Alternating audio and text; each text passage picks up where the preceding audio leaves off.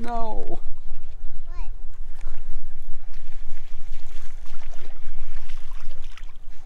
Hey, first one of the season. Look at this little guy.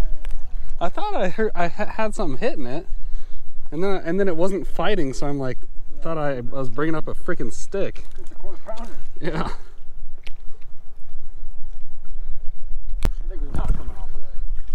That's good. He's fine.